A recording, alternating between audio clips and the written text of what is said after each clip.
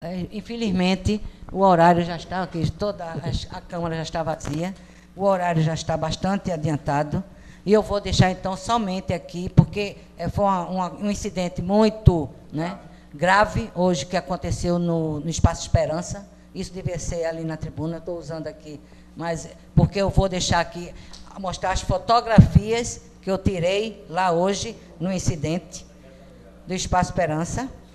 E eu acho que isso é uma coisa muito séria que aconteceu. Está aqui todas as fotos, viu? Está funcionando. Aí já quando eu cheguei, aconteceu hoje, aconteceu pela manhã. Eu olha, eu posso falar aqui mesmo? Olha, eu quero dizer o seguinte: fui comunicada hoje por uma mãe de uma criança que o teto da, do Espaço Esperança tinha desabado. Então eu fui verificar a, a veracidade e chegando lá já estava até interditado pelo secretário de obras, já tinha estado lá interditado. Aí eu quero dizer que isso aqui, ontem, estava acontecendo aulas, aulas não, cursos, né? Porque lá é, é cursos de, de arte. A piscina está aqui preta. Isso foi hoje, interditaram hoje. Estava acontecendo ontem aula, quando rachou o teto, ontem rachou o teto, caindo até um pedacinho do teto. E teve um, uma, uma, uma abertura de um dedo.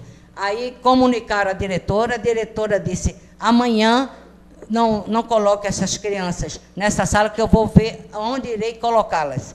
Na hora que foram chegando na, na, no Espaço Esperança, foi quando desabou o teto. Graças a Deus não tinha criança lá. E aí, é, eu quero dizer, pelo descaso, essa, essa caixa d'água está aqui desde que quando eu era, seu é, vereador, Neco, desde que eu estava lá sendo secretária, já minava esta caixa d'água e a gente avisava, essa caixa d'água vai cair, essa caixa d'água vai cair, desabar em cima dessa escola, dessa casa. Então, eu quero dizer que é muito grave essa situação. Disse a secretária que essa, isso aqui não é de, da Secretaria de Educação, é de Assistência Social, é o PET, onde tem lá cursos profissionalizantes e cultura e lazer e esporte. Então, é, ela falou que foi por causa da chuva que não deu para é, verificar, a, fazer a reforma. Mas isso já vem há muito tempo, há anos, e a diretora vem solicitando conserto para não, não haver esse, o que aconteceu. Então, é melhor prevenir do que remediar. E isso aqui agora vai ter que ser remediado mesmo, porque já aconteceu. Sorte do gestor que não aconteceu pior, com morte nem nenhuma criança ferida.